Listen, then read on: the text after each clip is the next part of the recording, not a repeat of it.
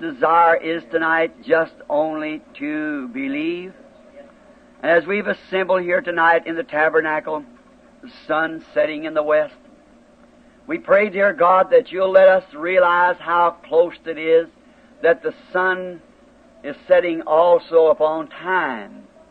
It's running out. The day is far spent.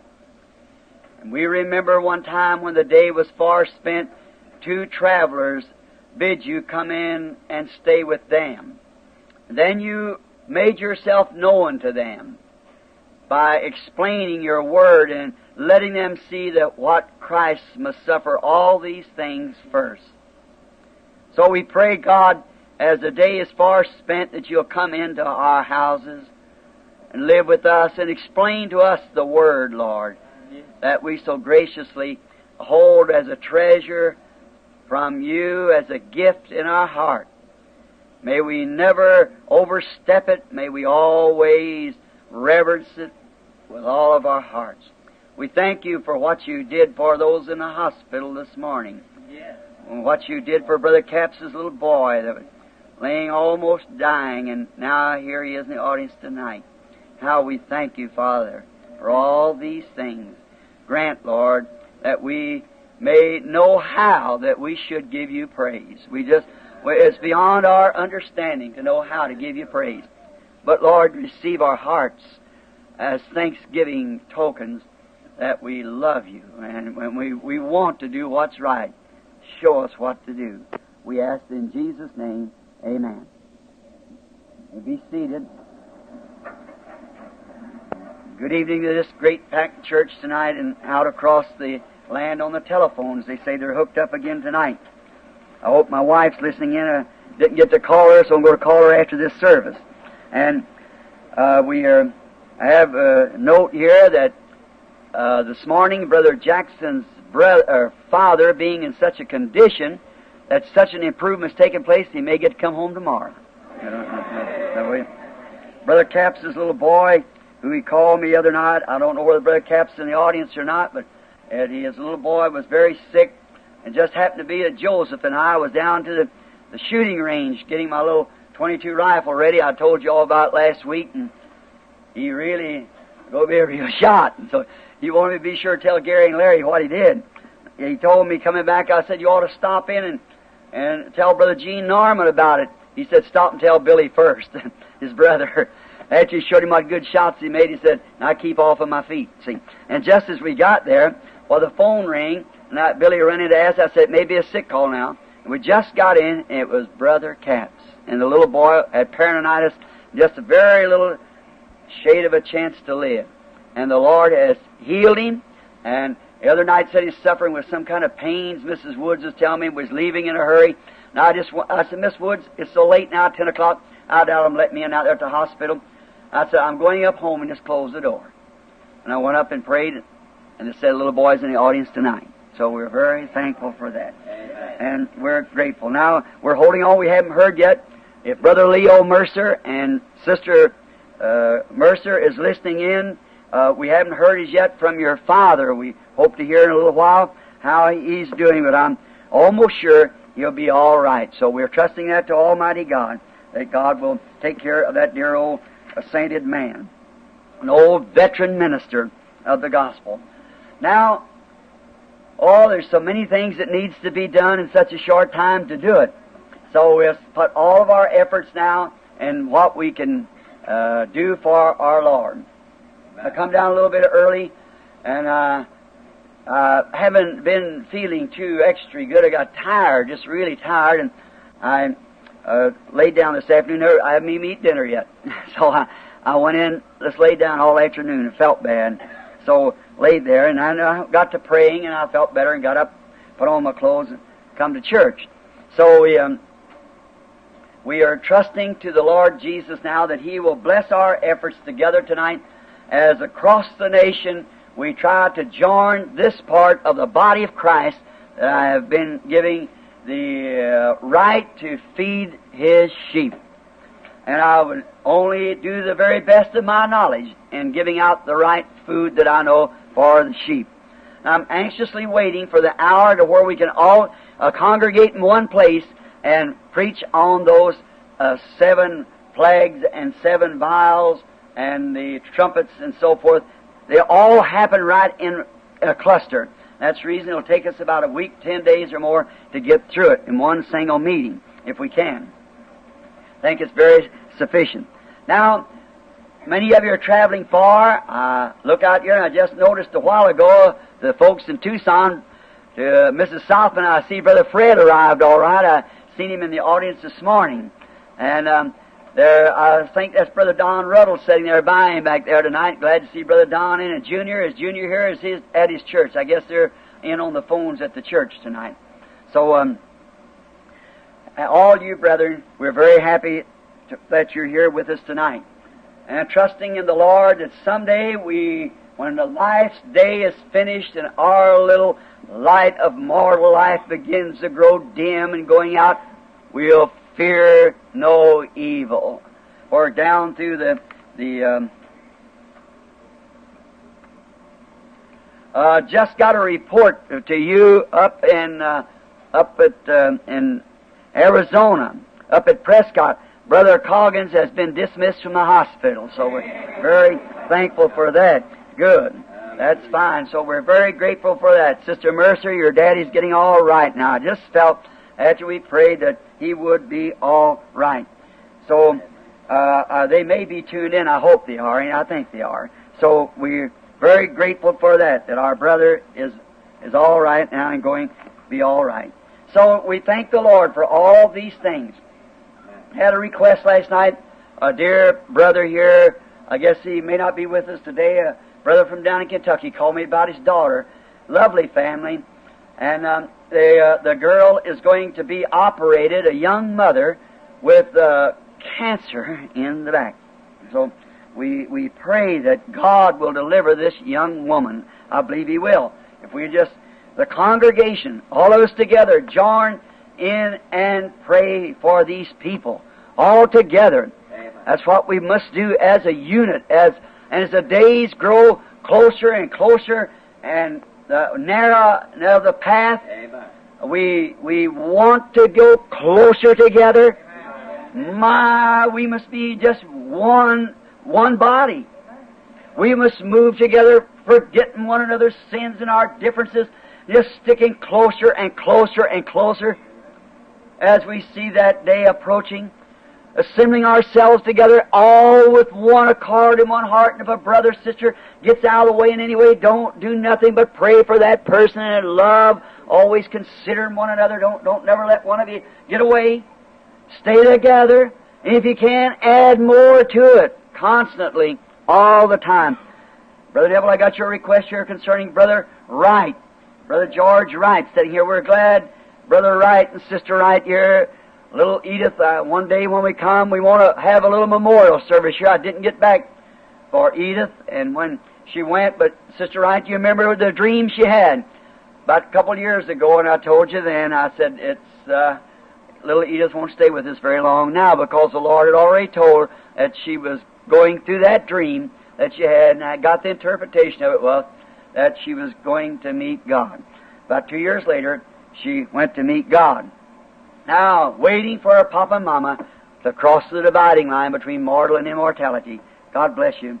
I want to try to see you uh, right away if I just possibly can.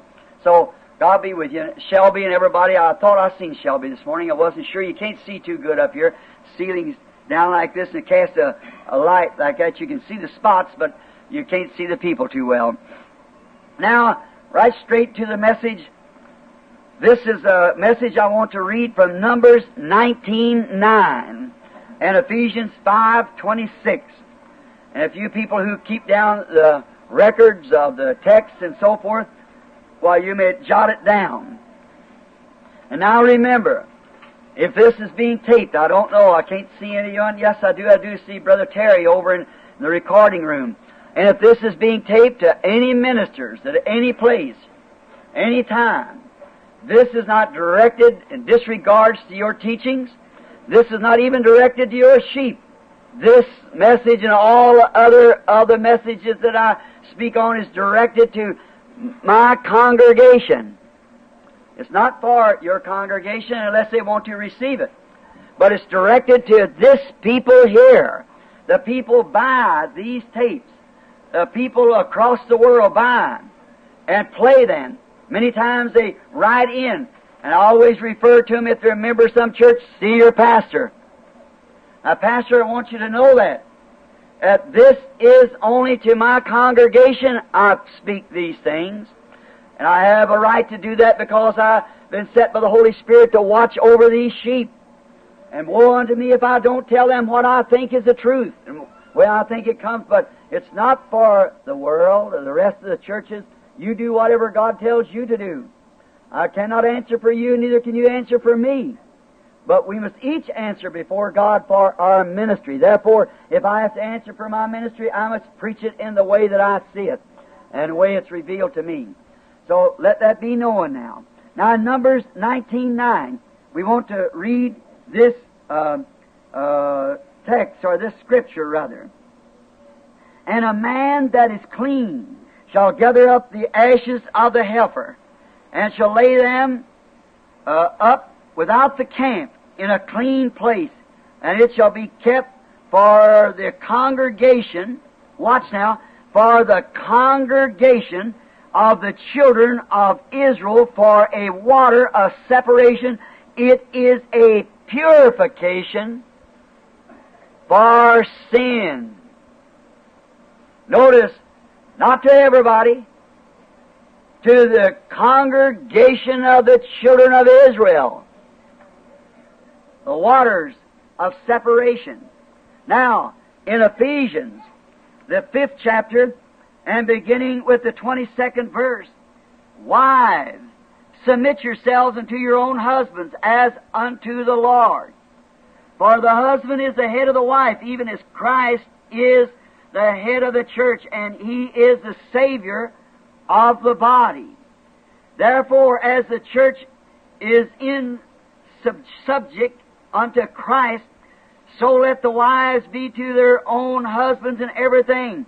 Husbands, love your wives, even as Christ also loved the church and gave himself for it. Now here's what I want to say now. That he might sanctify and cleanse it with the washing of the water by the Word. Now, this little text tonight, if I should call it a text, and I trust that people here and also out in the telephone hookups will not disregard this and think that it's meant in a way of sacrilegious. Though to take a text like this, it would sound sacrilegious. The subject that I'm using for tonight is a thinking man's filter. That sounds very radical for a subject for a minister that's so opposed to smoking would take a text like that. A thinking man's filter it come to pass that the other morning when I went squirrel hunting, if you people out on the uh, out on the radio, uh, the air or on the telephone wave could have seen the expression on this congregation's face when I announced my text, you'd have had a laugh out of it. A thinking man's filter. Well, it all happened up where the angels of the Lord appeared to me one morning and them squirrels was spoke into existence. All of you remembers when it taken place. Amen. And also, just at the top of the hill where I was standing, where just before preaching the seven church ages, going hunting one morning before daylight, there stood, I thought the sun was coming up about four o'clock in the morning. Unusual. I seen that light and I turned around and there stood the seven golden candlesticks standing up there on top of the hill with like a rainbows coming up through the pipes and feeding out. Immediately after that, the Lord Jesus appeared to us, and right then I heard a voice that said, The Jehovah of the Old Testament is Jesus of the New. And there he was after a while, revealed after those seven golden candlesticks Then notice that, how many remembers that text? I wrote it on the back of a, of a box of, of uh, cartridges I had in my pocket. Jehovah of the Old Testament is Jesus of the New. God in heaven knows that was true when I crossed that place where he had appeared to me a little later on about the squirrels. Then, when I called my good friend Jack Moore a few months later to ask when I started to preach the seven church ages, Revelations 1, and he was standing white all over. His hair was like wool. How could he, being just 33 years old, and be white all over? And Brother Moore, a very fine, a cultured Christian gentleman and a scholar, one of the best that I know of. And he said, Brother Branham, that was Jesus after his glorified condition. That's the way he looks now. But that didn't ring a bell with me. And I kept praying until one day, before I started the seven church ages, I couldn't get that first chapter straightened out right. How could a man 33 years old resurrected in the same body?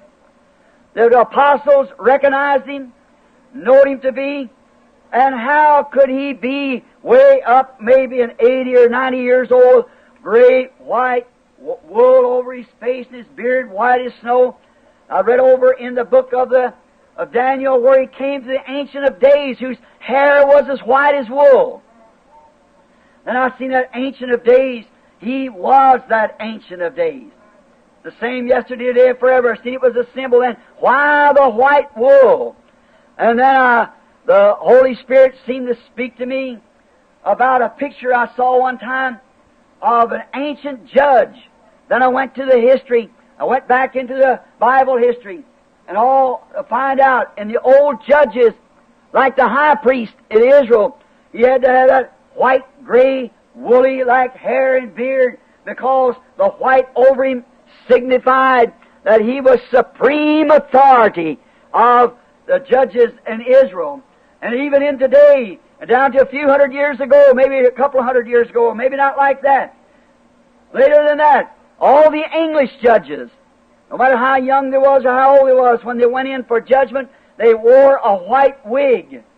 And to show that there's no other authority in that kingdom above their word. Their word is the ultimate of the kingdom. What they say, that's all of it.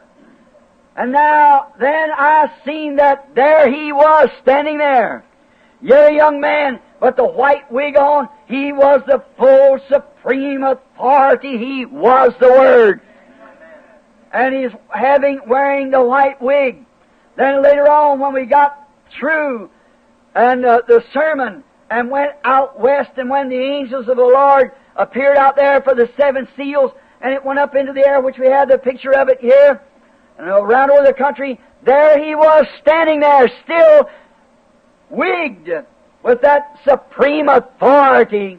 He is the head of the church. He's head of the body. There's nothing like him anywhere. He made all things by himself. He made all things for himself, and without he there was nothing made. He has all authority in heavens and earth, and everything belongs to him. And in him dwells the fullness of the Godhead bodily.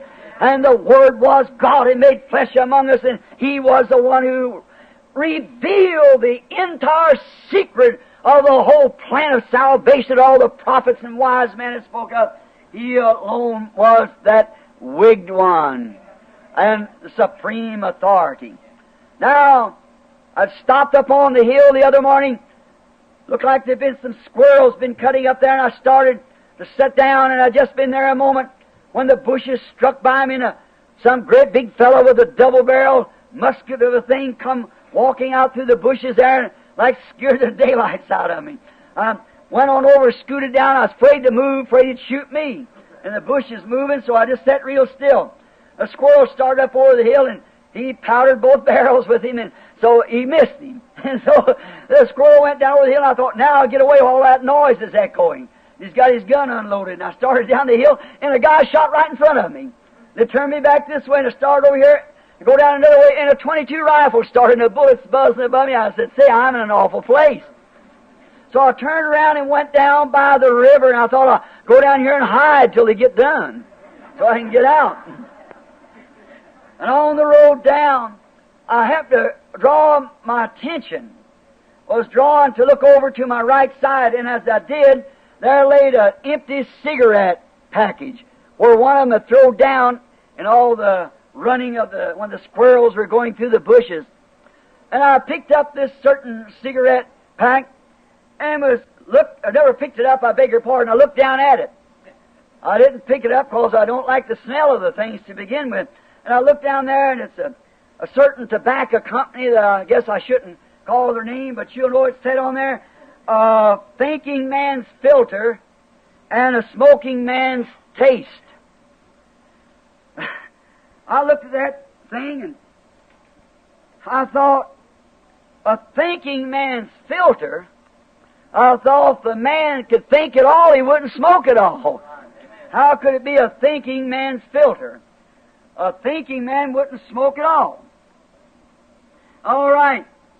Now, I thought how deceiving that is. Now, that tobacco companies are supposed to be American. And all, if we live to our policy, we would be working to help one another. If we have a feeling one for the other. And how hypocritical, uh, the reason I never call the company's name, I've got to say some bad things about them. And how hypocritical can anybody be to make money? A thinking man won't smoke at all. But how the American public fall for it? They think that that's wonderful. Now look, you cannot, you cannot ask anybody, scientist as you, you cannot have smoke without having tar. If there's one little speck of smoke comes through, that's tar. And if you don't get any smoke, well, you don't get any tar, you don't get any anything. You're just drawing against a solid stick. But as long as you get any smoke at all, you're drawing in cancer. Nicotine.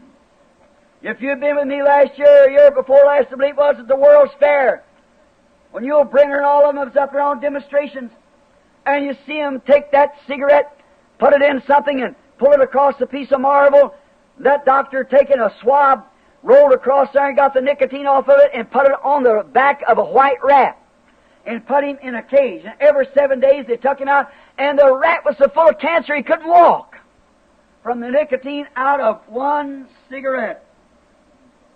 Then he said, you know, they say that you can get it through a filter. He said you cannot have a filter, any filter that would take nicotine out, takes the smoke out. He Said because you have to have smoke, uh, have tar to make the smoke, and it's the tar that gives the cancer. And then he went, pulled it through water, and said sometimes you think you could filter it through. Said every time that you, no matter where you pull it, said they say I don't inhale it, and they put it in their mouth and spit it out. Then he took that and rolled it up and put it under something there and showed it was still cancer. Whether you do, swallow it right down your throat, see? And no matter what you do, it's still death. See? And then to think that a company would deceive a man enough or try to deceive their own people. It's like a vulture living off of their, its own kind. Money making. Selling death to the, the country and to a young man and go out there on the battlefront and die for them, then turn around and sell such a thing as that under a false pretense. A thinking man's filter but a smoking man's taste. You'd have to have the smoke to get the taste. A smoking man's taste. How the people fall for it, though. They get it. Now, it's only to deceive you more. See, it's of the devil. They don't care for your life. They ain't got no feeling for you. They sell you that stuff just to watch you die, as long as they get money. Like politics and war. I don't believe in war. I don't believe that we all ever should have ever had a war.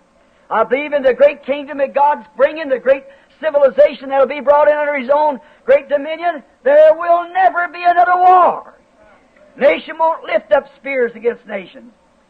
There'll all be peace, eternal peace. So this kind of a civilization brings war, and more civilized we get of this, the more war we have. One trying to be more civilized the other, and more civilized makes more war. See, and look what under this civilization that a person would put out such a thing as that. And the only thing it does, it only deceives you to make you buy more cigarettes.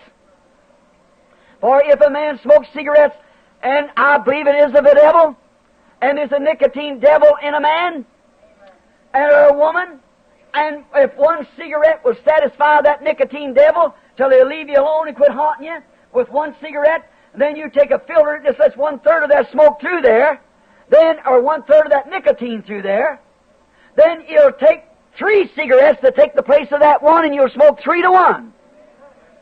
See, it's only a, a scheme, a deceit, a scheme to try to sell cigarettes.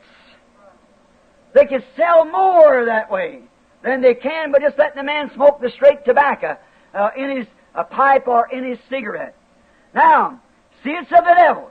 As I stood there looking at it and thinking of how deceitful it was, the question came to me, and I stooped back, looked at the pack again, and it just seemed like something said to me, but the slogan is all right. A thinking man's filter, a smoking man's taste.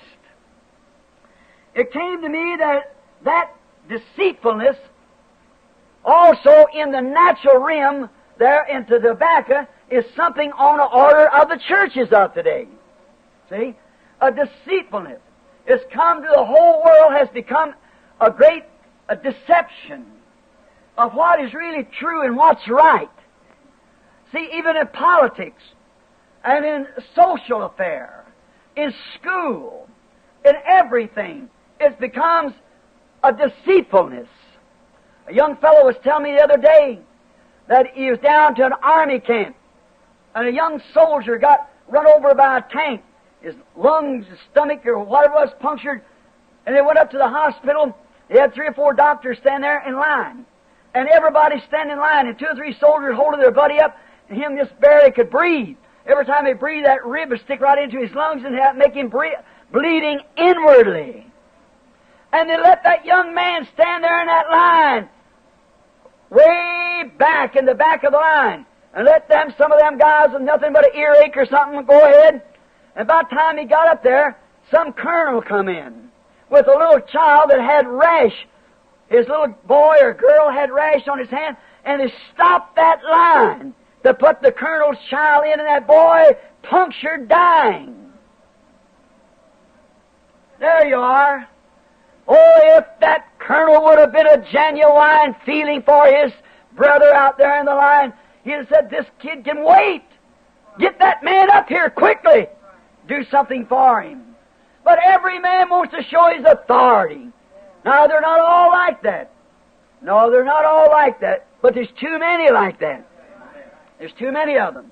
It's like that.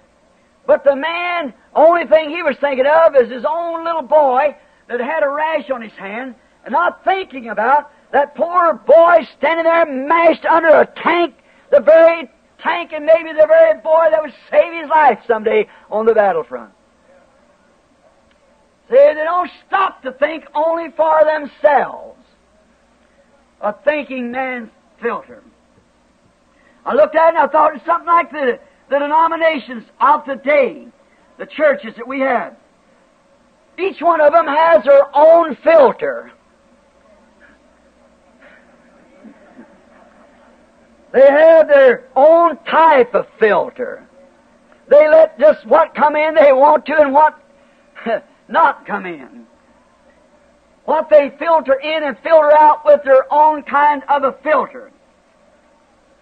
They just let so much of the world get in to satisfy the unbelievers that's in there. They'll take them in no matter what they are if they got money.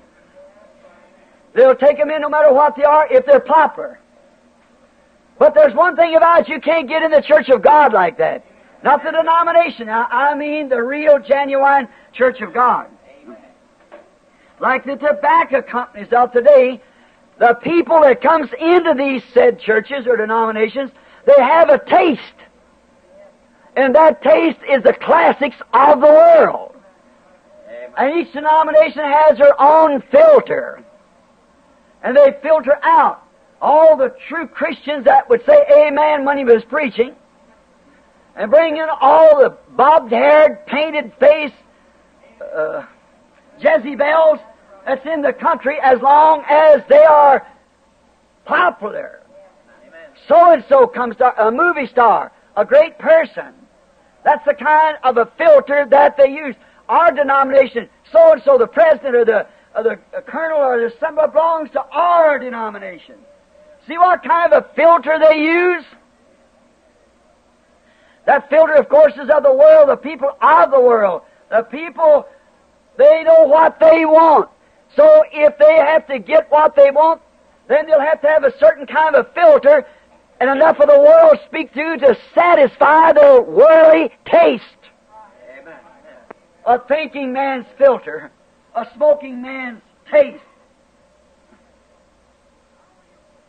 A religious world's filter and a worldly man's taste. They want to be religious. They think they must be religious because they have a soul. When we first come to this country, we found the Indian worshiping suns and so forth because why? He is a human being. We go back to the far jungles of Africa. We find the natives worshiping something. Why? They're human beings. And they must worship. So the human being, no matter how fallen he is, he still knows there's something somewhere. But he's got such a taste for the world that he cannot take the correct filter. He has to have his own made filter. Each one making their own kind of filter. Each cigarette company brags on theirs. What they can do, a real filter. This is the best filter, all up front and all like that. I said the taste comes or something from up front. oh, for goodness sake.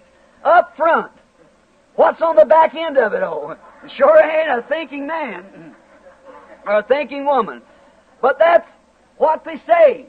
Just simply deceiving the people. Now we find out of our day that the people has got a taste. And why does a man smoke a cigarette? Is to satisfy a taste. What does a woman smoke a cigarette for? Satisfy a taste.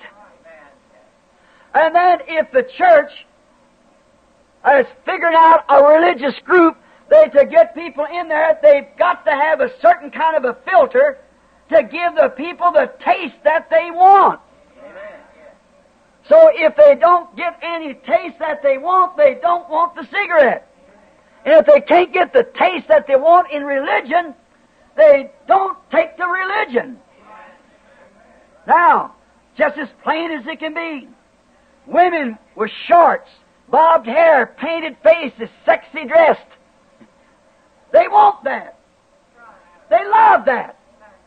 As I spoke this morning and uh, last Sunday morning on that wheel in the middle of the wheel, or that little inside soul on the inside of the spirit, how that the spirit on the outside between the soul and the body can be absolutely anointed with the Holy Ghost. Did you all understand that? Now to follow that in with the continuity of the message, the God of this world, the anointed one from the last days, that outside, that middle circle, first circle is the, the human senses.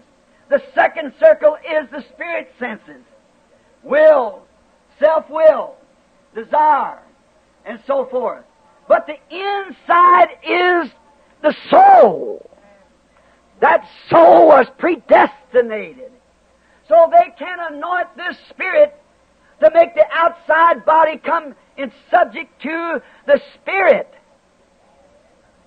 But the soul that sinneth, that soul shall die. The soul that rejects in unbelief the Word of God, which it is a part of, that soul shall eternally has always. I believe in an eternal death. Same as I believe in an eternal heaven, but not an eternal hell. There's no such a thing as eternal hell. Amen. there is an eternal death. For the people that are, many of them religious, in the world today has always been dead. The woman that liveth in pleasure with her bobbed hair and painted face is dead while she is alive. The Bible said so. See? She may be religious, but she never was saved. She's got an outward motion. She might sing in the choir, or she might dance in the Spirit. She might speak in tongues and have all the manifestations of the Spirit. But unless that soul on the inside is God's daughter, see, she's gone. No matter what she does. Israel is all outwardly, spiritually, all filled with God's goodness and how they reverence God and so forth. But that didn't work. The inside of them couldn't recognize the Word itself. But when you're born of the Spirit of God, then you've got a, you are a son of God, and you always was a son of God, and you always will be a son of God. No way to separate it because it's uh, you have eternal life, and eternal never did begin, neither will it ever end. Oh, for the grace of God that He'd give us understanding of such great mysteries. As Paul spoke here further on down in Ephesians, speaking of the husband and wife, and said, This is a mystery. How the women should be in respects to their husband. Even the second place, I believe it is in the entire Bible, that reverence is ever spoke to, said the women, seeing she reverence her husband. Reverence her husband. Then a husband ought to live such a life before his wife that his wife could reverence him as the Son of God. And if he doesn't live that kind of life, well, then, of course, she wouldn't reverence him because she knows what he's made of. But when it is a man that is reverent, man, reverent, clean with his wife and before his family, a real servant of God, then the women, children, all should respect that servant of God with reverence. Notice, now, woman they want to have bobbed hair. They want to wear shorts, paint, makeup. These little bikinis and things that, that, that they wear nowadays. They want to do it. And yet they want to go to church. You see that anointing? Upon the spirit, not upon the soul. See? Says, wants to be a Christian and also do these things and the pastor says it's okay. Then if he says it's okay, you can be a member, your name can be on my church book here, it's okay, then he's given her his denominational filter to suit a worldly woman's taste. Amen. She loves the world. She likes the taste of it. So he's got a filter for her. But she's a long ways from being a thinking woman. But there you are. That's where I found this text. No, she isn't a, a thinking woman. If she was thinking, she'd know the church isn't going to judge her at the last day. The church is judging her now by her membership, her loyalty to the circles that she belongs to in the societies. They're judging her now by that. But God's going to judge her at the last day. So she isn't thinking, just like the man that's smoking. He loves the cigarette so well until his thinking faculties has become numbed with nicotine. And the woman's desires has so numbed her thinking faculties until she'll do these things that's evil in the sight of the Lord. Because she wants to do it. It satisfies a worldly woman's taste, so she takes a worldly church's filter. She goes right through it fine. Nothing to bother. Shows. Now we see that if that is truth, the pastor says that's all right. We don't condemn the women of doing that. It's all right. There's no sin in it. That's through his filter. Shows that they went through a theological filter. And they got a theological taste. And they had a theological taste. But it certainly didn't go through God's filter. No, sir. Now, if there is a theological filter for the theological thinker, and there is a church filter for the church thinker, a cigarette filter for the cigarette thinker, there's got to be a real filter somewhere for the real thinker. And God has a filter. And that's His Word. It's a separator for us. The water's a separation for sin. Now that's the thinking man or the holy man's taste. And if a man goes through this kind of a filter of the world, he, he's got a worldly taste. And like the tobacco company, he gets more members in his church by pushing through this filter. You say there's more women goes to church than there is man, that's maybe so. Uh, that may be also true when she can go and do anything she wants to. That's right. She'll she'll join up with anything. But she went through that church filter. If she went through God's filter, she'd come out different from that. See? She couldn't go through God's filter and come out with bobbed hair. She just can't do it. Now, this is going to be a, a little bitter maybe to somebody, but when she started through God's filter, and it says in there for them not to cut their hair, then what? She lodges on the other side. If it said it's a sin for a woman to do such, and she's dishonorable to do such. If she wants, she says, well, she's got to have her hair cut, so then shave it off then. And said, we know that that's a shame for a woman to have a head shorn, said then let her have her head covered. And her hair is her covering. Not a hat, lady. Her hair is her covering, the Bible says. Shows she's a Nazarite unto the Lord. Long hair to a woman means a Nazarite to the Lord. Now, we find that that's true. But we find if the thinking man, so called in the world, can smoke and still get his taste, he ought to have sense enough to know he's getting tar from the tobacco. But it only what it's done is to sell him more, make him buy more cigarettes. And the church filter gets the membership and things like that. When they let them get through with anything and still belong to the church, they get more members. What if we went to the churches tonight and filtered everybody out besides those who were genuine word born Christians? There'd be many a blank sermon up against the wall tonight. True. Because it went through the filter. And if I've got one desire in my heart, and I hope that everybody listening to me has the same thing, God take me through your filter. As David said, try me and prove me and see if there be any evil in me. Then take it out, Lord.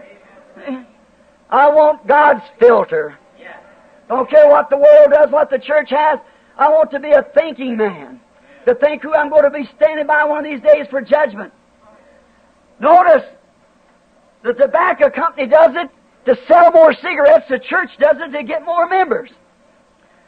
A woman with short hair, wearing shorts, will be caught in God's filter. She could not go through it with short hair because the Bible said she shouldn't do it.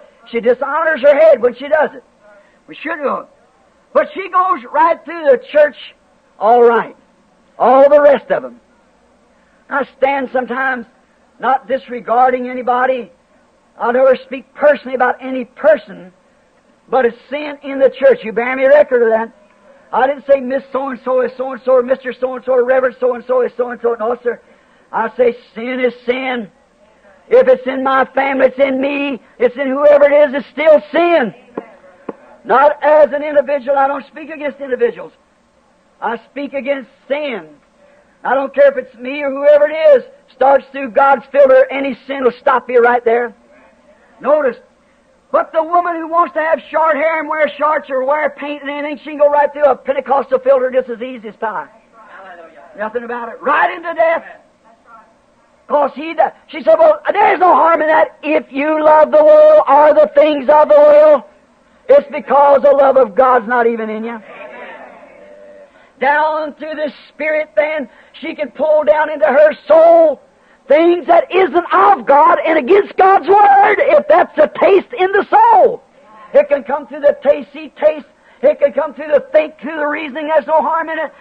I have taste. I have feelings. I have a, a feeling that this is all right. She come right on down through that and right into her soul if her soul is of that type. Shows that she isn't drawn through God's filter. But if she's got bobbed hair, wearing makeup, shorts, pants, looks like man's, all these slacks, what they call them, saying those kind of things and doing those things and living for the world, she'll stop. She can't get to there. No, sir. It'll stop her at the beginning. Notice, a man looking at her pretty red lips and painted face and shorts and, and bikinis and every watch she's got, a real thinking man won't look at her. Now, a man that's a church member will look at her, admire. But I don't care how she looks to the eye, a thinking man will turn his head. Why? He's been through God's filter, and he knows to look upon her is adultery in his heart. He don't think she's pretty. Say, isn't she a pretty thing? Not to him, it isn't. She's a filthy looking, miserable Jezebel witch to a thinking man. A son of God looks up on her with shame that he even belongs to the family she belongs to. That's right. How could that be my sister and act like that? See? She pulled through one filter and he comes through another. You won't think she's pretty. Not at all. That's not beauty to a real man of God.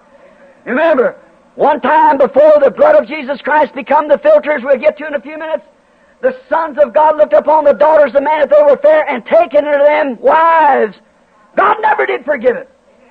Again it happened in the march of Israel, and God never did forget it, and every one of them perished. A thinking man's filter.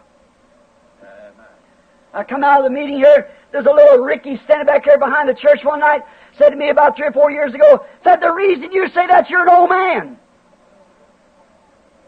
Said, I think they look nice. I said, I can imagine that. From just the looks of him. You tell what he looked like.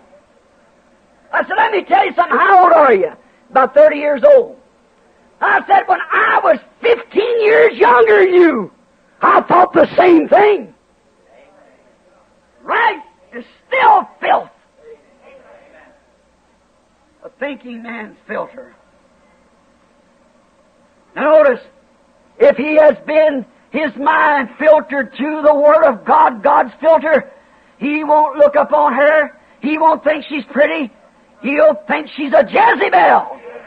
He'll think behind those red lips is poison things that would sting him. And the Bible said her gates is the gates of hell. And a man walks into them like an ox going to his slaughter.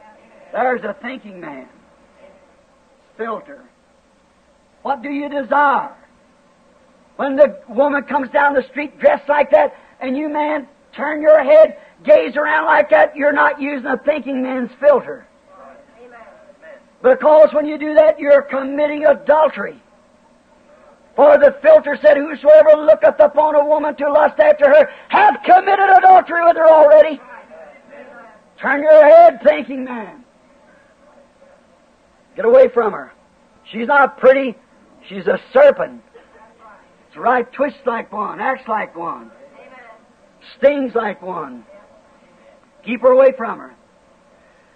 Oh, yes, the Word of God is the thinking man's filter. Anyone knows that. That's what your soul is filtered through. The Word of God. And it makes, when you come to God, when a thinking man comes through God's filter, it gives him a holy man's taste. Amen. Right. When you come through God's filter, then your taste is a holy man's taste. It makes a righteous man's taste. The slogan certainly is okay. Now we find out how this was done in a type. In Israel for the congregation of Israel only. That's the reason speaking this now. If ministers disagree on anything that's said, this is for my congregation that the Lord's given me to, to preach to.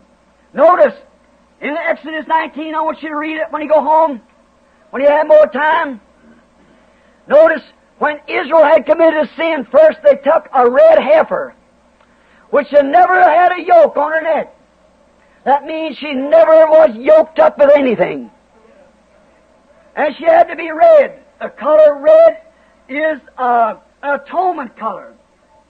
You know, science knows that if you take red and look through red to red, it's white. Look through red at red, it's white. He looks through the red blood of the Lord Jesus, and our red sins become as white as snow. Red to red. And the heifer was killed in the evening time by the whole congregation of Israel, and there was put seven stripes of her blood upon the door, Well, the whole congregation had to enter, a type of the seven church ages by the blood. And then her body was taken and burnt. It was burnt with the hoof, with the skin, with the intestines, with the dung. Everything was burnt together, and it had to be picked up by a clean man. And had to be put in a clean place outside the congregation. Therefore, if Israel could only see the type this Word of God must not be handled by dirty hands of unbelief. It's got to be a clean man. And if he's clean, he had to come through God's filter. A clean man, clean hands, and had to be kept in a clean place. Not a place where Jezebels and Rickies and everything partake and take the communion and things when they're running around with wives and husbands and all kinds of filth. Going to dances and parties and wearing bobbed hair and shorts and everything else and call themselves Christians. It's to be kept in a clean place and handled with clean hands. And then, when Israel sinned and recognized that they had done wrong, then they were sprinkled with the ashes of this heifer upon them and that was a water of separation, of purification for sin. Notice, here it is. And with Israel, before they could come into fellowship in the worship, they had to first pass through the waters of separation. Justification by faith cometh by hearing, hearing the word. Then they entered into the congregation under those seven stripes of blood to show that something died and went before for their sin. They were separated by hearing the word, the waters of separation, then entered into fellowship. The only place that God met a man was behind that altar. He wouldn't meet him anywhere else. He had to come behind that altar. God only met Israel in one place.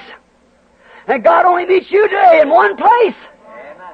That's in Jesus Christ. And He is the Word, the waters of separation. And His blood was shed for all seven church ages. And then by the Holy Spirit, we enter into that fellowship, which is only given to the church. Oh, how great He is. Also, now we want to look at Ephesians 5.26. Said, it is the washing of the water by the Word. A waters of separation. What does it do? then the filter of God is the Word. Amen. Waters of separation, washing of the waters of separation by the Word. God's filter. Then you can come into Christ through a church filter. You cannot come by denominational filter or creed filter. There's only one filter that you can enter into that holy place. That's through the washing of the water by the Word. The Word of God is a thinking man's filter. The church will judge you here whether you're a good member or not. They'll give you a good funeral and half mast the flag at your death, send great wreaths of flowers and, and do everything for you. But when it comes down to your soul facing God, it's got to have eternal life. And if it's an eternal life, it's part of the Word. And as my own word cannot deny, my own hand cannot deny my hand. My own eyes cannot deny my hand, or my foot, or my toe, or any part of me. It cannot deny it, and neither can a man that's part of the Word of God or a woman deny one part of the Word of God. Then, women, when you think you can have bobbed hair and come in the presence of God, you're wrong. You see it? You are wrong. You can't come through God's filter, or you're washed by the water of the Word. Then you enter into the fellowship. You think you are, but you can't be until you come through the Word. And every little spot, every little word of God, man shall not live by bread alone, but by every word. It's got to come through that filtration, coming through. And that gives a righteous man's taste, because that's what he's looking for. Looking for something to cleanse him. The Word. The Word of God is a thinking man's filter, and it makes a righteous man's taste. We know that truth. Filters all the sin of unbelief out. There's no more disbelief when you come through the filter. Because it is the true believer's taste. The true believer wants to be right, regardless. You just don't want to say, well, I belong to social ranks, I belong to church, the biggest church in town. I don't care if it's a mission on the corner, if it's a brush harbor somewhere. A thinking man knows that he's got to meet God. In regards to what the church says or anybody else says, he's got to come on God's terms, and God's terms is God's Word. Well, they say God's Word. Sure, all of them believe it's God's Word, but can you filter through it? How you going to let a bob-haired woman come through there? How you going to do that? How you going to let a man come through there that wants to hold up for this doctrine? See? It ain't a thinking man's taste. No, a thinking man will think a thinking man will think twice before he jumps into something like that. Notice that word cannot deny itself. Then it is satisfied, or it's a desire. It's a desire of what? What made you desire it in the first place? Because down in your soul there was a predestinated seed, which was eternal life, always laying in there. Always was in there. All that the Father has given me will come to me. There isn't any of them going to be lost. a thinking man's taste. When a thinking man hears the word of God, my sheep hear my voice. A stranger they will not follow. For down in there is life. And life connects with life. Sin connects with sin. And sin is so hap- hypocritical until it thinks that it's saved when it isn't saved. It's in the very depths of hypocrisy. Church members want a denomination filter so that they can have their own desire and still be classed religious people. You hear them say, oh, he's very religious. In Africa, I was out there one day and was talking about these, some of the kids was talking about these rock and roll songs. And Elvis Presley and them was singing, Pat Boone and whatever more, Ricky Nelson and all them others. I said, they're a bunch of renegades. Some little girl said, well, he's very religious. I said, so was Judas. I said, Judas only got 30 pieces of silver. Elvis Presley got several million dollars. Hmm? They both sold out their birthrights. Hmm? I said they're nothing, the very worst indebtedness the nation's got. Still, just as deceiving as the filter of the cigarette. These denominations let those members come in. There ought to even be a, there ought to be a law that they couldn't sing religious songs. It's against, ought to be against the law for them to do it. But the whole thing's become one great big pile of hypocrisy. And that's where they stay today.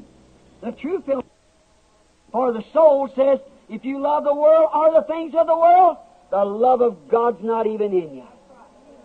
See, you can't you can't say rock and roll is of the world, or is of the God. Rock and roll is of the world.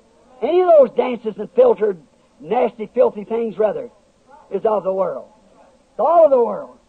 You can't say that bobbed hair for a woman is of God. The Bible says it's not. So it's the filth of the world. And if you love one speck of the world, the love of God's not even in you. See what's that? What's drawing it? It's something down on the inside drawing. The soul is drawing your resource through the outside down through the spirit into the soul. And if the soul loves the world, it's dead. I don't care how much anointed it is out here and how righteous it is out here. Down in here, it's dead. For he that loves the world or the things of the world, the love of God's not even in him. No matter how religious. The true filter that way will, will set all those things out and bring nothing but the trueness of God, the Word, into the real true soul.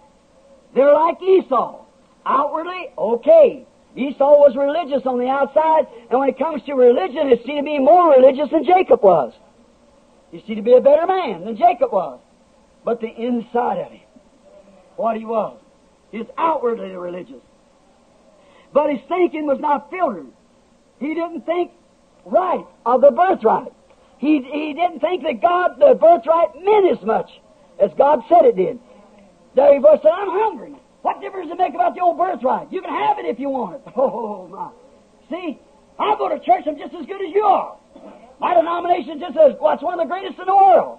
My mother belonged to it, my father belonged to it, all this, that, and the other. My pastor was educated, he's got so and so, that puts him that much farther from God.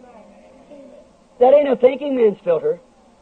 If it would, how could Peter ever have been what he was? When he couldn't sign his own name. But he packed the thinking man's filter. Notice, oh my. Esau thought that that birthright didn't mean what God said it did. That was the difference between life and death. And so, like Eve and like Judas, sold their birthrights for a satisfaction of the taste of the knowledge of civilization. That's exactly what Eve sold her birthrights for. She sold it for a little taste of science, a little taste of worldly knowledge, a little better church, a little better class of people, today it would be called. See? And Judas sold his birthrights for 30 pieces of silver to make a few extra dollars. My congregation can pay me better over here, and I'll just preach over here, see? Sold out if I become a preacher. Well, they said, Brother Branham, we believe that message is the truth, but we can't accept it. If we did, well, where would we preach at? the world. Brother, that's the parish. Certainly. Well, none of the brethren to back me up. I, I ain't looking for none of the brethren to back me up. I'm looking for Jesus Christ to back me up because He stood by. He's the one who said it. And when the true birthright, the blood, filtered out by the word all sin and the world and church and denominations and sectarianism is left outside. Education, civilization, church, denomination, system, sin of all types is left outside when a thinking man takes a thinking man's filter in God's estimation.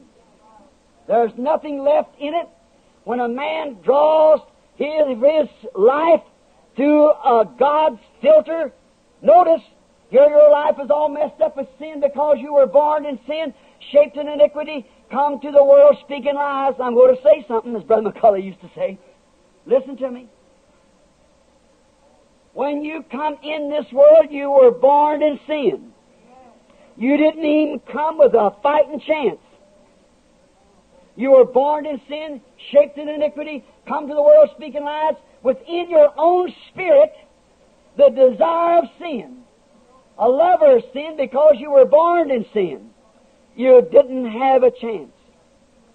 But down inside of you somewhere, here you come. There was something in there that began to draw. If you know it was something that told you there was a God somewhere, and you read His Word, and you took the church, you took their ideas when you were told better, then you never use the thinking man's filter. But when you use God's filter, which is the thinking man's filter, because all other filters will pass away, but mine shall not. And when you take God's filter and draw your life, your desires, if you draw your desires through God's filter, a thinking man's filter, there's nothing left but the Holy Ghost. Now, if you want the evidence of the Holy Ghost, there it is. When that soul of yours is aligned with the Word of God in every respect, it shows you've drawn your life through the thinking man's filter. God's filter.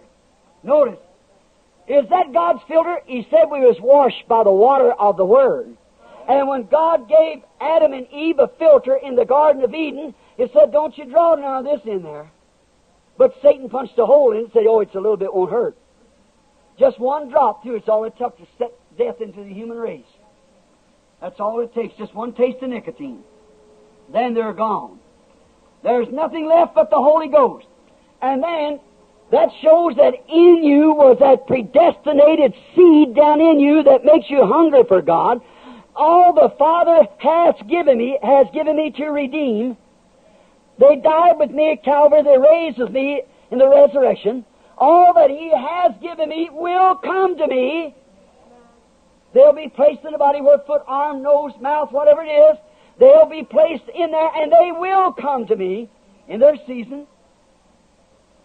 Oh my, there is that real filtration of all the sin of the world and the love of the world is dead. And the soul is drawing only one thing. Here it is, don't remember, it, don't forget it.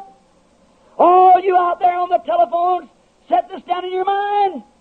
When a thinking man begins to think who he is going to stand before and what the Word of God is, when he begins to think, then when he draws to that, there's nothing can get to it but the Holy Ghost. What is it? It's the germ seed word from the beginning that you was in God at the beginning, standing here, drawing the seed life.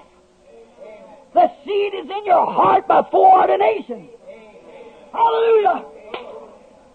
The seed is already in there by the foreknowledge of God predestinated. And when it draws, it can't draw through nothing else but the Word. And then it's a taste of the thinking man. The righteous man. The holy man who sees the Bible that Jesus Christ is the same yesterday and forever. What comes into that place down there? That word that's in the heart. I've hid thy word in my heart that I sin not against thee. What is it when it's drawing through the word? There's only one thing will pass through the word. That's the Holy Ghost. That's the only thing that can pass through the Word is the Holy Ghost. And a thinking man's filter gives a holy man a taste. Then he's tasted of the heavenly things. He's got the Word of God in his heart. He sees it manifested before him, and his whole soul's wrapped into it. And the world and all things is dead around him a thinking man's filter of religion. I'm thinking of filtering religion now. When a thinking man's filter gives a holy man's taste. See? It satisfies his taste. He sees that Jesus Christ is the same yesterday, today, and forever. There it is, seen right before us, doing the same things he did. It satisfies the holy man's taste, his thinking. He knows then that he's passed from death into life. And he loves, and and it loves for the world uh, to be confirmed and wants the Word to be confirmed and vindicated. In each age, he waits for it. For he is a holy man. And he's got a desire to see God. Others just wants to join church. This man wants to see God. He don't see him in a bunch of creeds.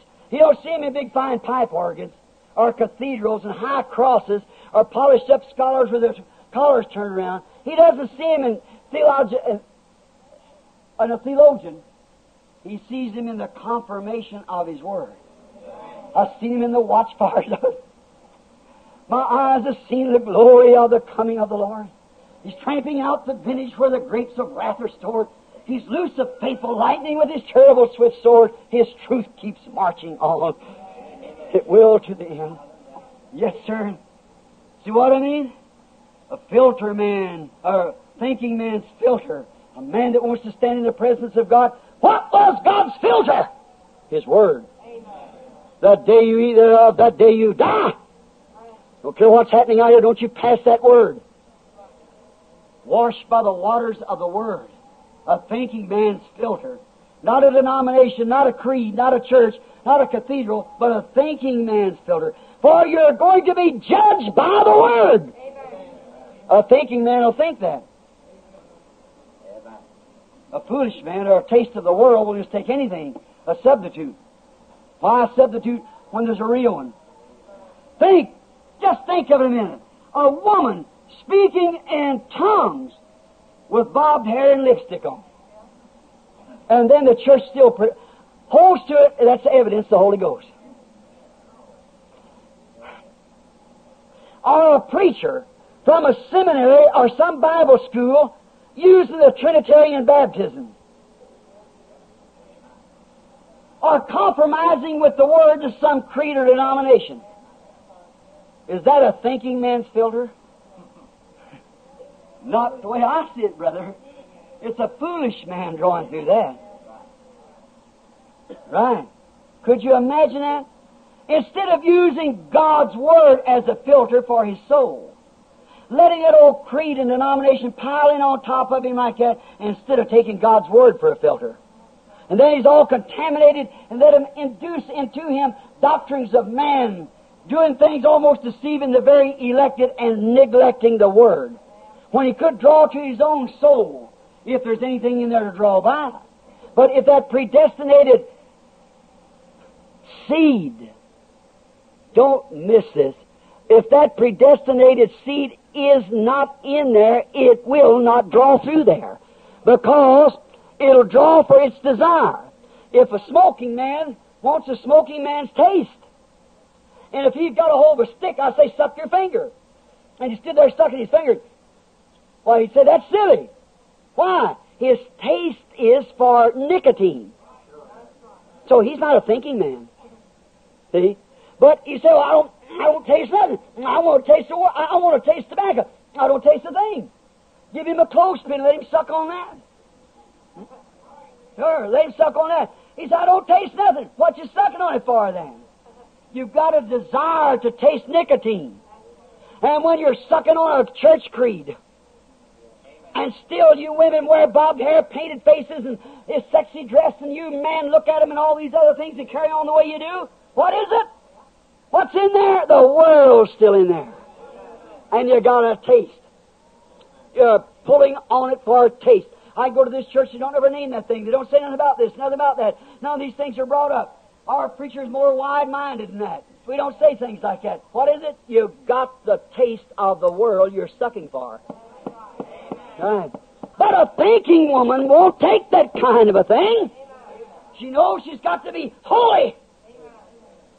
And the only thing that you can draw through God's Word is the Spirit, the quickening power, to make the Word itself, which is in you, live to manifest Jesus Christ in the age you're living. Amen. Hallelujah. Brother, if that ain't the truth, I don't know what the truth is. I've lost my mind if that isn't the truth.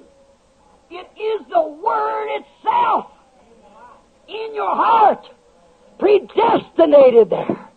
That's drawing and it spits out that world. that don't want it. But when it gets over here in the Word, it begins to draw.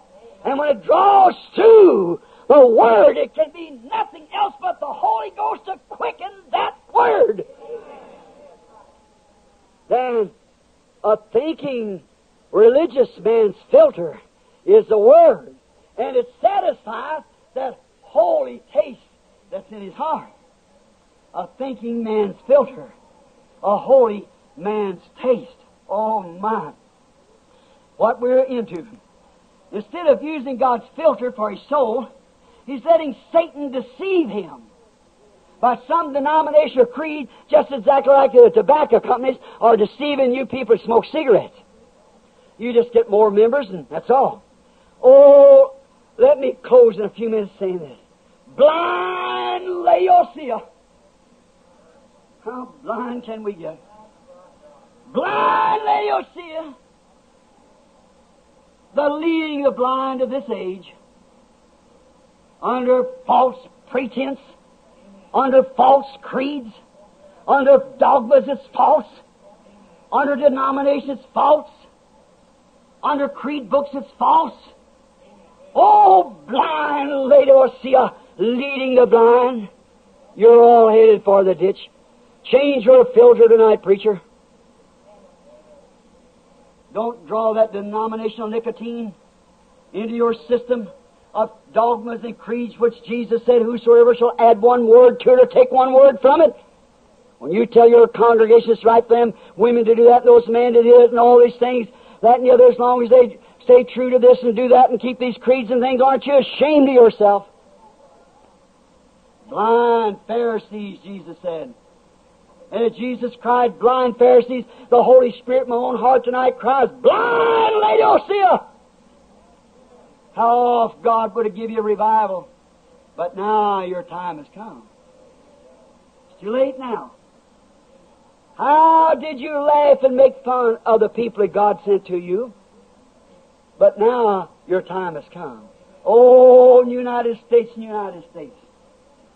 How that God would have hovered you as a brood, hen does there's brood, but you would not. Now this voice is going from coast to coast, from north to south, from east to west. How God would have hovered you, but you would not. Now your time has come. Nations are breaking. The world is falling apart. 1,500 mile chunk of it, three or four hundred miles wide, will sink hundred or maybe 40 miles down into that great fault out yonder one of these days, and waves will shoot plumb out to the state of Kentucky. And when it does, it'll shake the world so hard that everything on top of it will shake down. Oh, hide me in the rock of ages. God, let me let me breathe upon me, Lord. Spirit of the living God, breathe on me. Let me take God's filter and live under that, Lord. Let me breathe the fresh air of the Holy Ghost into my lungs and my soul each day that I sin not against you, O Lord. Breathe on me, Holy Spirit, breathe on me. Oh, let me plant the Word of God in my heart and purpose there that I'll not turn to the right hand or to the left hand away from it, but I'll live true to it all the days of my life. Oh, Father God then sent down upon me the Holy Spirit of life to quicken those words to me that I might manifest Jesus Christ before those who are before me to looking for it to happen. That's my prayer. Oh my. Notice how they do today in those churches, sucking the people through those denominational filters into the ecumenical council. Why? Why? For it gives them the desire of their heart, organization. They have a taste for organization. They'll do it. Every time God sends them a revival, they, what do they do? They organize it. Is that right? So they got their kind of filter because they've got a great taste. And now God's going to give them their desire their taste. He's going to give them, they're sucking them right into the ecumenical council. And then they get their organizational taste then. They got it coming. Old Church of Laodicea, don't be deceived in this age by their deceptions.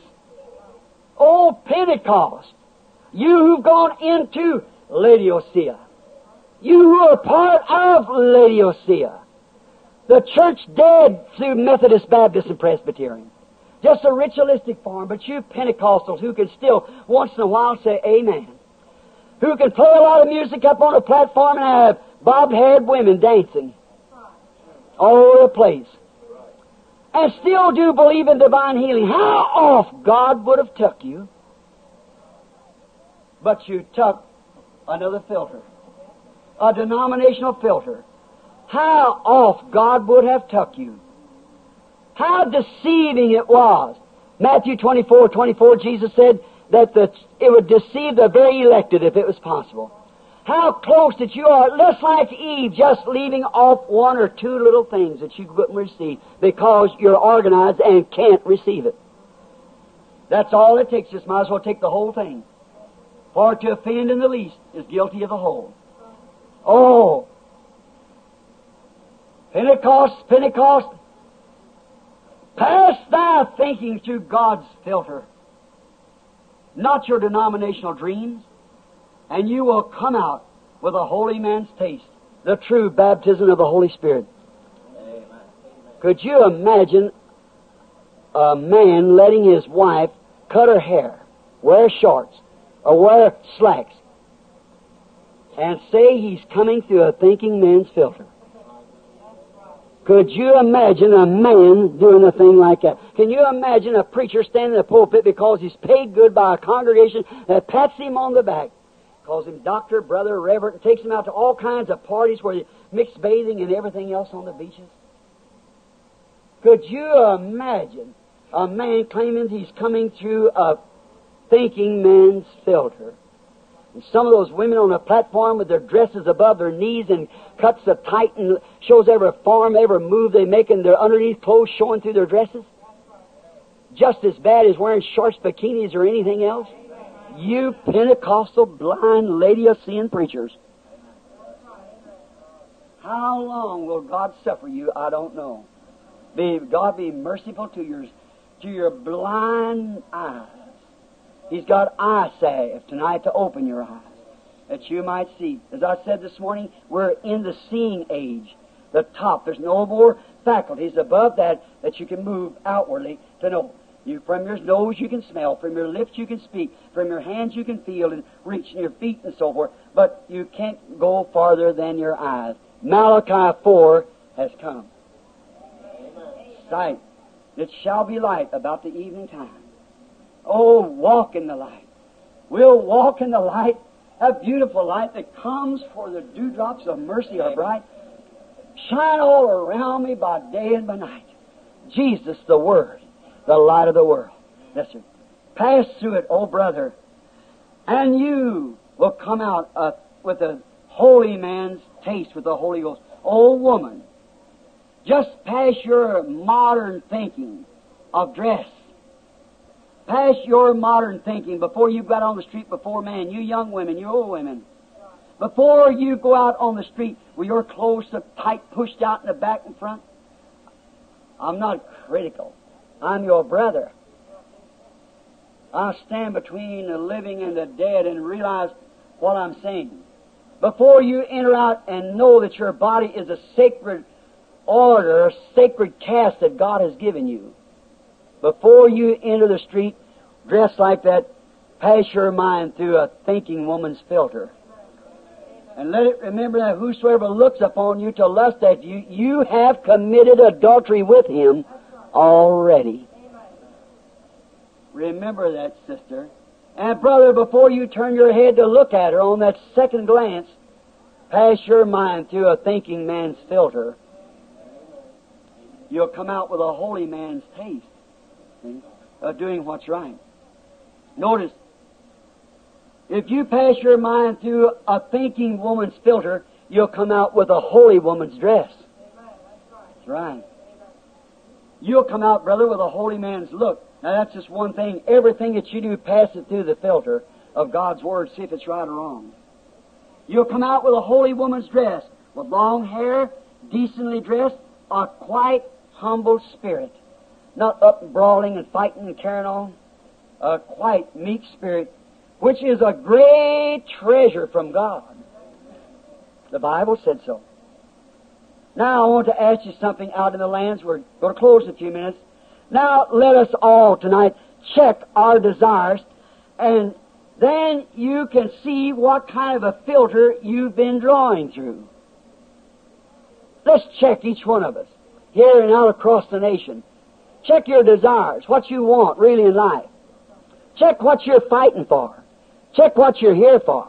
Check what you go to church for. What makes you, it's good to go to church, but just don't go to church only. That won't save you. See? Just check just a few minutes. Say, is my objective, what, what kind of a filter am I drawing through anyhow? And if you won't cope with the Word of God and your soul don't do it, then there's something wrong. For it shows up your taste that the life, what kind of a life is in you. If it's a holy, discreet, honorable, it'll come out that way. If it isn't, you've got another taste in you you're drawing from. Said Zechariah. If the taste is the Word of God and the will of God, then you know what's in you, what's drawing the taste. Shows you are a part of that Word. That Word is in you, drawing from the Word. What's it drawing? It's drawing through the Word because you are a part of the body of Christ of this age. And if that Word is in you, it can only draw through the Word the Spirit that quickens that Word that's in you. Just the Word alone won't live. That's the reason all the Father has given me will come to me, and if I be lifted up, I'll draw all men unto me. See? See? The Father, the part of the body of Christ that's in the world, predestinated, put into the heart. Any man that's a real Christian born again today knows since he was a little kid or a little girl, either, that there was something in you that hungered for God. And you tried joining churches and everything else, it wouldn't work. Why was it? It was that Word. You was hunting for a filter. And one day it flashed before you. You've seen Jesus Christ the same yesterday, today, and forever. That satisfied the taste. See? Because life was in you drawing. See, the life in you's drawing. It's, t- it's telling what desire you got here. You're pulling. You can't pull through this and that and the other. You've got to find that right filter because you're a thinking person. If you're a thinking person, you are predestinated or filtered for from the for the foundation of the world. And if a denominational minister hears this, I hope that he takes the thinking man's filter if he's a denomination minister. Then he'll throw down that denominational pack that's sure to perish because it's a word of man. And accept God's filtered word that can never fail nor pass away. And it will suit the holy man's taste. And like Jacob will sacrifice all the world and the appetites of every denomination or fame that there is in the world, where you can be bishop, cardinal, where you can be a state presbyter or a pastor of some great church, you'll sacrifice everything that there is, not like Esau to become part of the world, but like Jacob, you'll give everything you've got to obtain the birthright. The filtered of the thinking man cause it'll give you the holy man's taste. And it will satisfy, and if we satisfy and will sanctify with the eternal taste of the holy goodness of God. Remember, Satan punched the first hole through Eve's mind or her thinking to let the taste of his wisdom and knowledge get through. Now think of this, I'm closing. Satan punched the first hole through. Because all she could draw was the Word. That was the Spirit through the Word of God. Because she said, as long as you breathe through this filter, you'll never die. But you take a breath of this I hear it, you'll die. See? And Satan said, but you don't know nothing here. But you take a little taste of this here, and then you'll know you'll be like God. See, He knows right and wrong, you don't. And if you just take a little taste of this, and she let him punch a hole in it. Just one little hole. Now, you see why I say, you say, why don't you teach women and so forth how to receive gifts and things like that? I said, how can you teach them algebra when they won't even learn their ABCs? One little hole. All it took. He took the world's wisdom, and when it did, it set death to the whole family, wanting the taste of wisdom. Now, look at the filter. And certainly, it expressed her taste. Her taste was for the world. That's what she's got. That's what it is today. They love the world and the things of the world with a form of godliness, but denying the power thereof. See, Satan let them speak in tongues. He let them shout. He let them have divine healing service. He let them do all these kind of things. He say, many will come to me that day, and Lord, have not I cast out devils? Have not I done many things done this? He say, I didn't even know you, you worker of iniquity. When the Word was placed right before you, and you still sucked that old filter of the world. See, shows the taste that was in the heart. Doves cannot eat a cairn. They cannot eat it. They don't have any gall. A crow can eat the seed like a dove, and can eat a cairn like a crow. See? Because he's a hypocrite. But a dove is not built like any other bird. That's why God represents himself as a dove descending from heaven. See? It cannot, it cannot stand the stink of a cairn. It's not a vulture. The reason it don't have any gall, it couldn't digest it. It would kill it if it eat it. And a dove never has to take a bath. A dove's body puts out oil from the inside that keeps it clean. It's a life that's in the dove. It generates in it an oil that keeps the feathers clean, and so is a Christian. There's a life within him that keeps them clean. It's filtered. Oh, notice. Now look at he the, at the filter, and certainly you can see the taste thereof of what they're doing today. Look at this modern church. Look at the filter. You see what they love.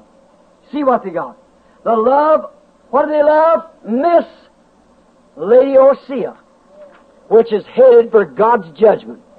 That's right. The love, the church love today is for Lady Laodicea, a great organization, a great setup a great popular thing, fine dressed people, highly cultured, full of wisdom, full of the devil. Under the deceit of the church of Christ.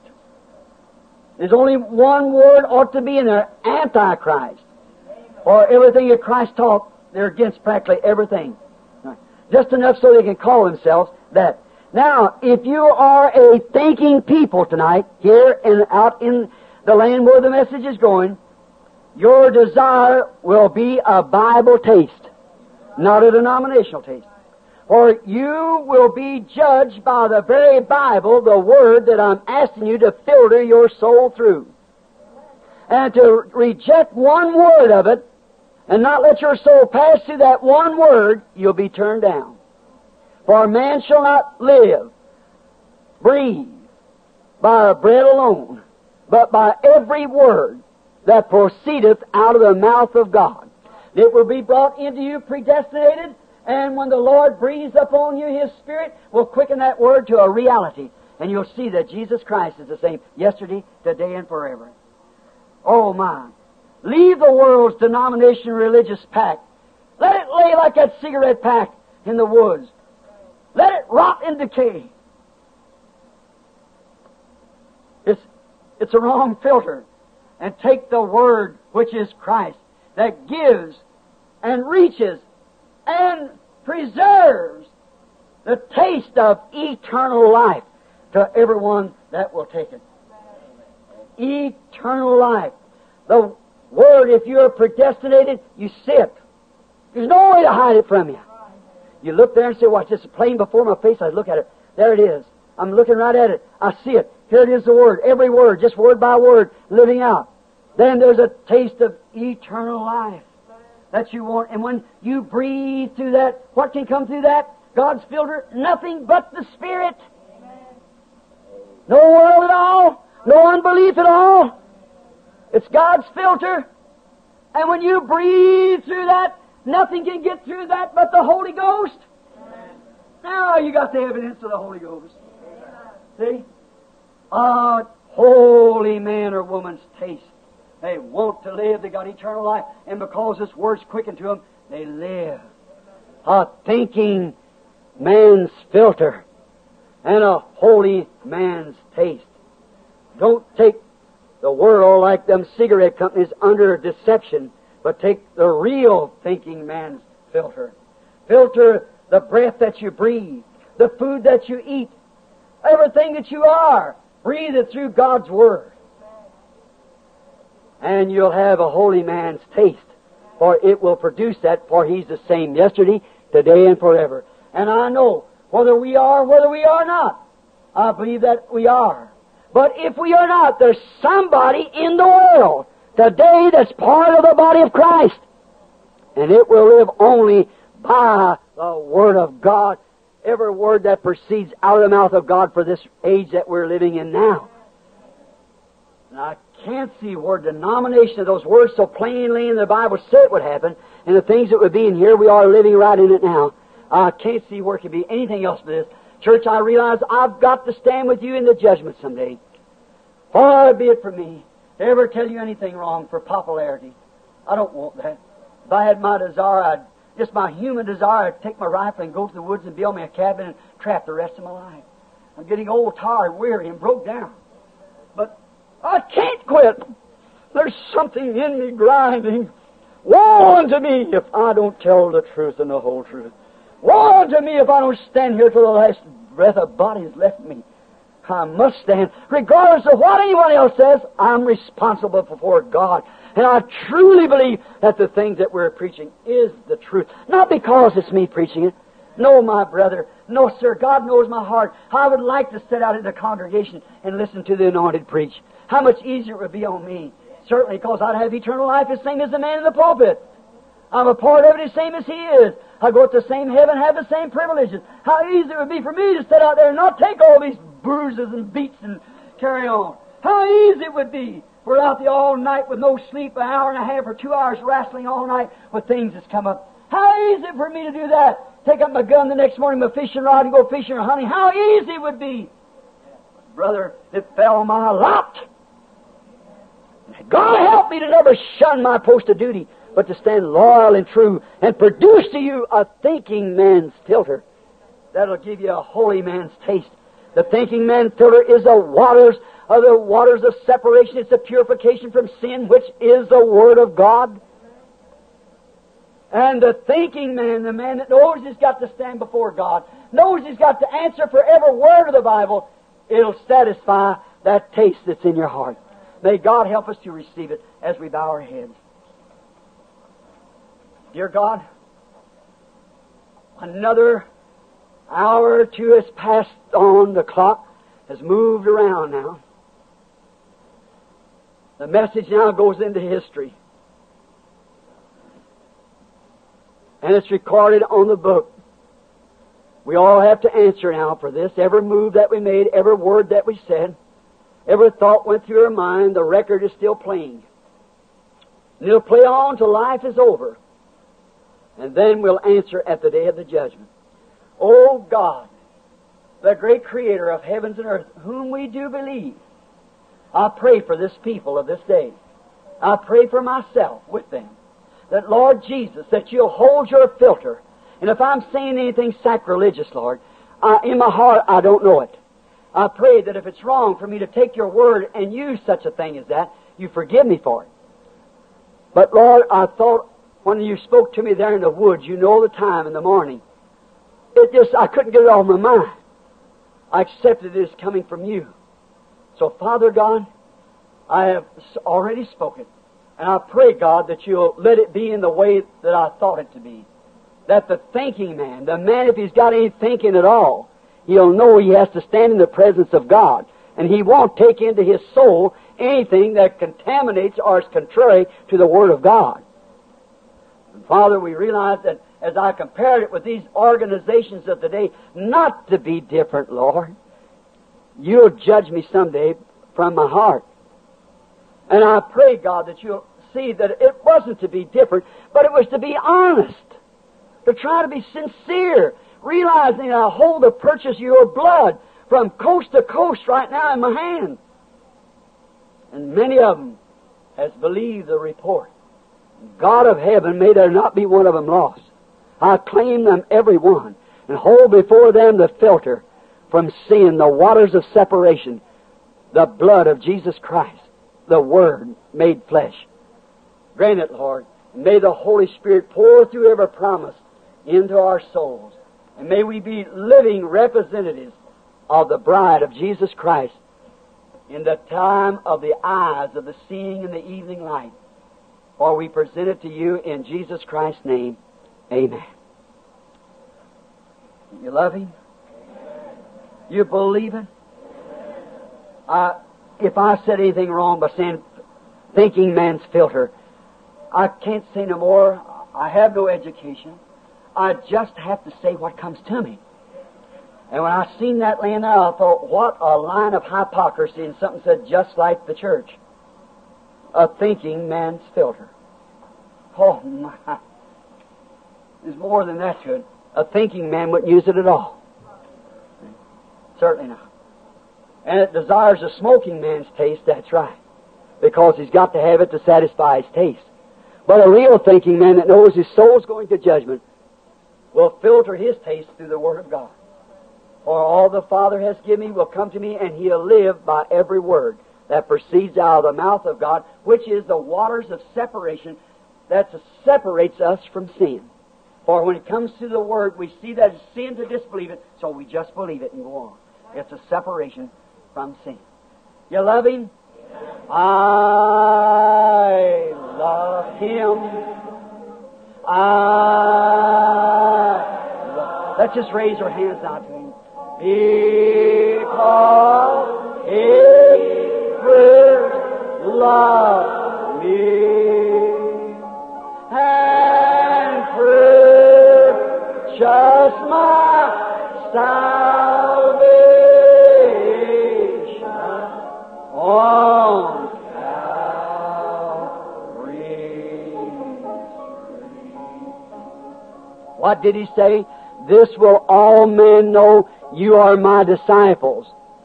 When you love, have love one for the other. Now let's shake somebody's hands while we sing it again. Say, I love you too, brother. I love him. Ah, this is to let you know that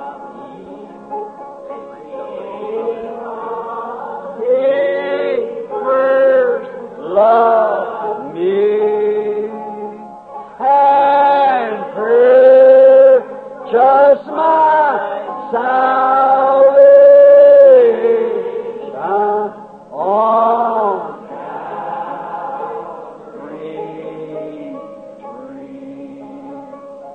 How you like a thinking man's filter?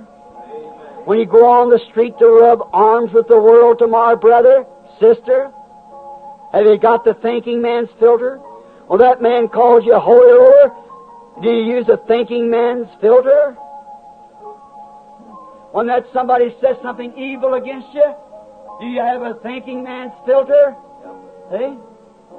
Do good for evil. Pray for those that despitefully use you and those who persecute you. Then you're breathing through the thinking man's filter.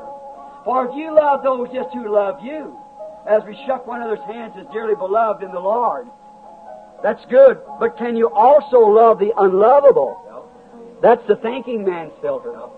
That's the Spirit of Christ in you.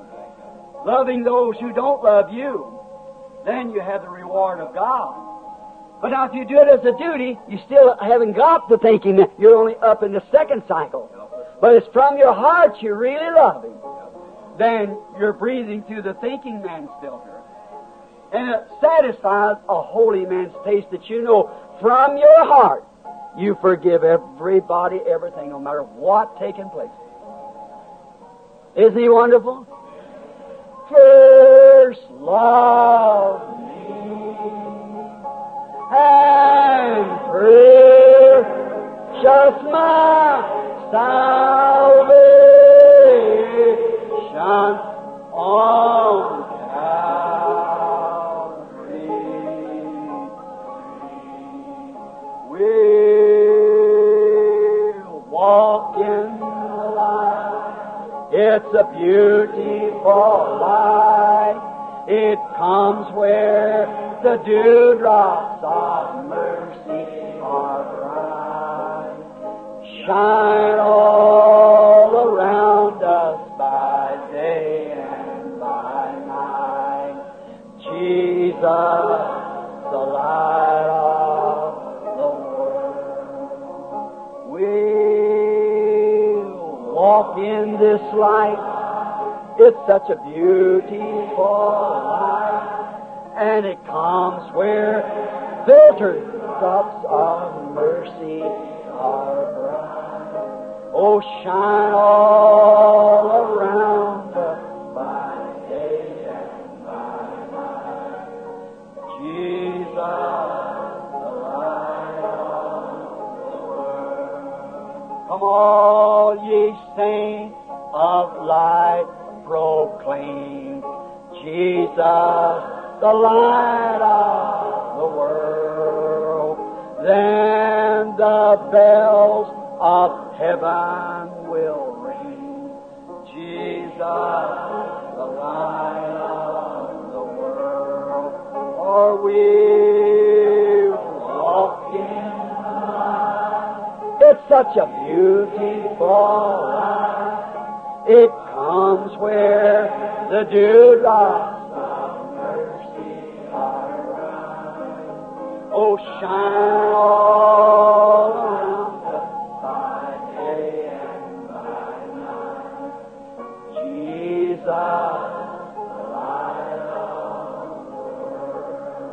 You love that? Oh, we'll walk in this. It's such a beautiful light, and it comes where the dewdrops of mercy are. Shine all around us by day and by night. It's Jesus, light of the world. I just love that. Faith look up to thee, thou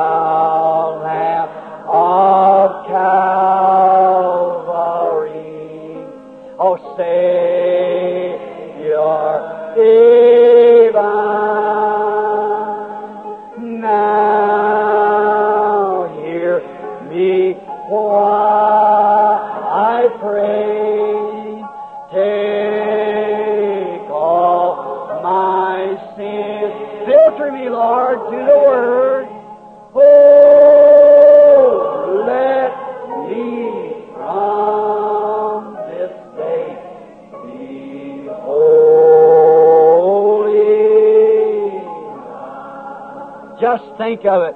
Filtered to the Word, holy thine. While life's dark maze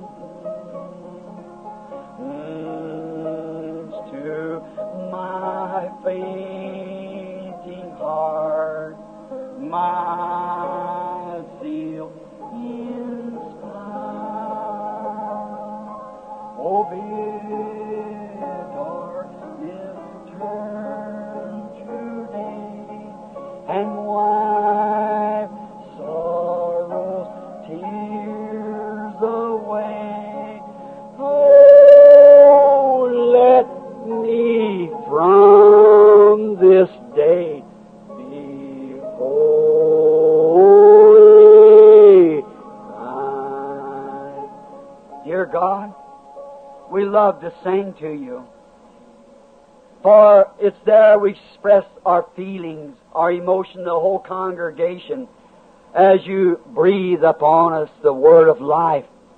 We're so grateful, Lord. And that song, Receive Us, will you, Lord? That's our desire, is to be filtered through the Word of God.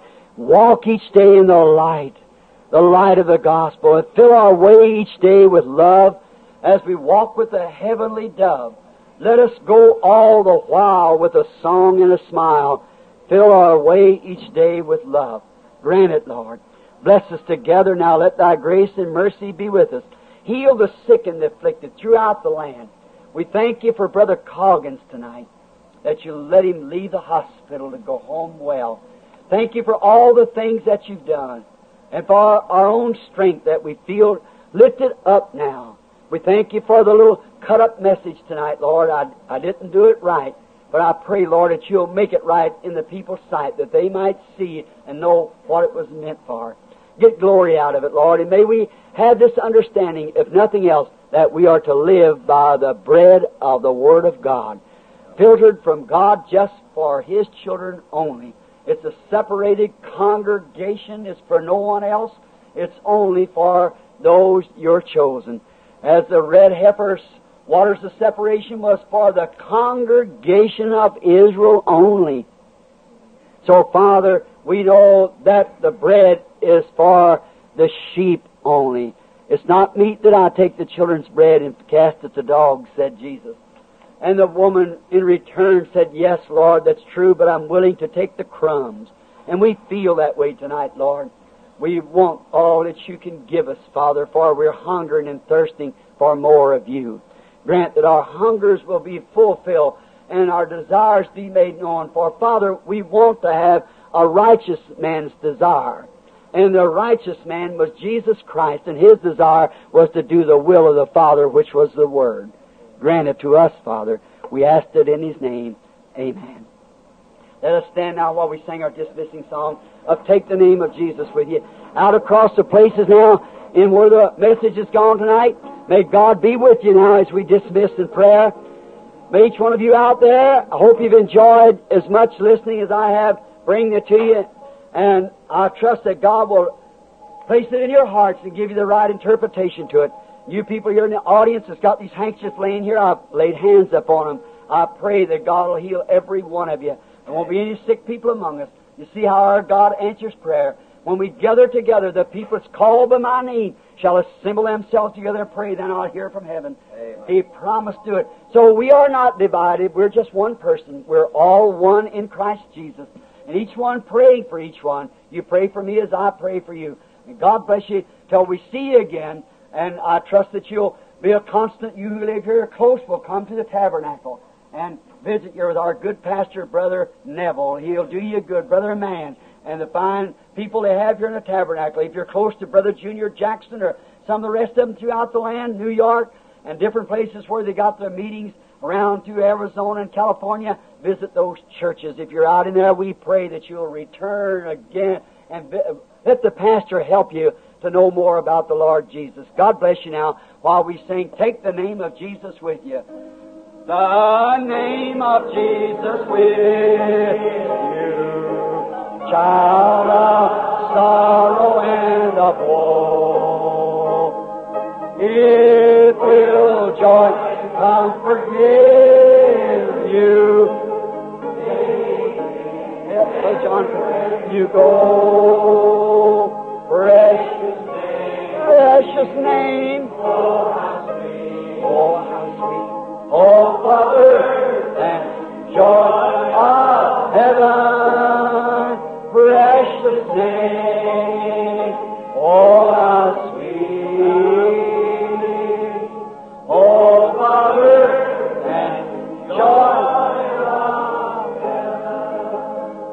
over the congregation tonight, seeing Brother Estel Beeler back there, Brother Palmer, and many, Brother JT, and so many of the ministers standing around here. I can't call all their names. Wish I could have you everyone up here and all of you dismiss the congregation or do something. You understand, don't you? I know you got a Christian heart and know that we have to how we how we are. We're all together one person in Christ Jesus. Now let's remember this next verse as we sing it while uh, Brother Martin here will dismiss us in prayer. And I want to, um, this is Brother Earl Martin from, I believe from Arkansas or, or Missouri, Missouri, around the Arkansas Missouri line there. They got a church down there, and I noticed this other brother from down there. I can't think of his name, Brewer. He was here this morning. I guess he's still here tonight.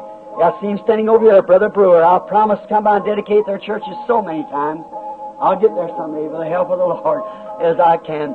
Now, while we sing this next verse now, at the name of Jesus, bowing, falling, prostrate at His feet, Amen. King of kings in heaven will crown Him when our journey is complete. Let's sing it now. At the name of Jesus, bowing, falling, prostrate at His feet. King of kings in heaven will crown Him when our journey is complete. Precious name, precious name, oh how sweet, oh how sweet, oh Father and joy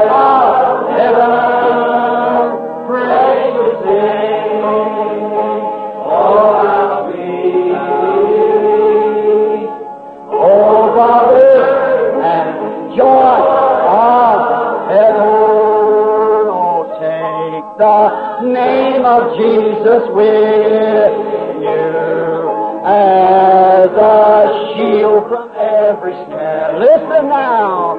Oh, when temptations round you gather, what you do? Just breathe that holy name in prayer. Precious name. Oh, how sweet. Oh, Father, Oh, hera's